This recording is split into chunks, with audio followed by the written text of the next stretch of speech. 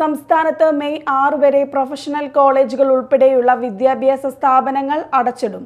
സംസ്ഥാനത്തെ ഉഷ്ണതരംഗ സാധ്യത വിലയിരുത്താൻ മുഖ്യമന്ത്രി പിണറായി വിജയന്റെ അധ്യക്ഷതയിൽ ചേർന്ന യോഗത്തിന്റെതാണ് തീരുമാനം. പകൽ പതിനൊന്ന് മുതൽ വൈകിട്ട് മൂന്ന് വരെ നേരിട്ട് ശരീരത്തിൽ സൂര്യപ്രകാശം ഏൽക്കുന്നത് ഒഴിവാക്കണം. പകൽ പതിനൊന്ന് മുതൽ വൈകിട്ട് മൂന്ന് വരെയുള്ള സമയത്ത് നേരിട്ട് ശരീരത്തിൽ സൂര്യപ്രകാശം ഏൽക്കുന്നത് ഒഴിവാക്കണമെന്ന് മുഖ്യമന്ത്രി അഭ്യർത്ഥിച്ചു.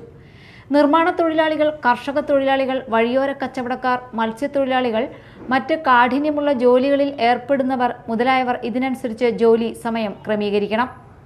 അതേസമയം വൈദ്യുതി പ്രതിസന്ധിക്ക് പരിഹാരം കാണാൻ സംസ്ഥാനത്ത് ലോഡ് ഷെഡിംഗ് ഏർപ്പെടുത്തില്ല. പകരം ക്രമീകരണം ഏർപ്പെടുത്താൻ സർക്കാർ ബോർഡിന് നിർദ്ദേശം നൽകി. അടുത്ത പതിനഞ്ച് ദിവസം കൂടി വൈദ്യുതി നിയന്ത്രണം വേണ്ടിവരും. വൈദ്യുതി മന്ത്രിയുടെ അധ്യക്ഷതയിൽ തിരുവനന്തപുരത്ത് ചേർന്ന യോഗത്തിലാണ് തീരുമാനം. സ്കൂൾ വിദ്യാർത്ഥികൾക്ക് അവധിക്കാല ക്ലാസുകൾ പതിനൊന്ന് മണി മുതൽ മൂന്ന് മണി വരെ ഒഴിവാക്കണം. പോലീസ് അഗ്നിശമന രക്ഷാസേന മറ്റ് സേനാ വിഭാഗങ്ങൾ N C C S P C തുടങ്ങിയവയുടെ പരിശീലന കേന്ദ്രങ്ങളിൽ പകൽ സമയത്തെ പരേഡും ഡ്രില്ലുകളും ഒഴിവാക്കണം. News desk media time.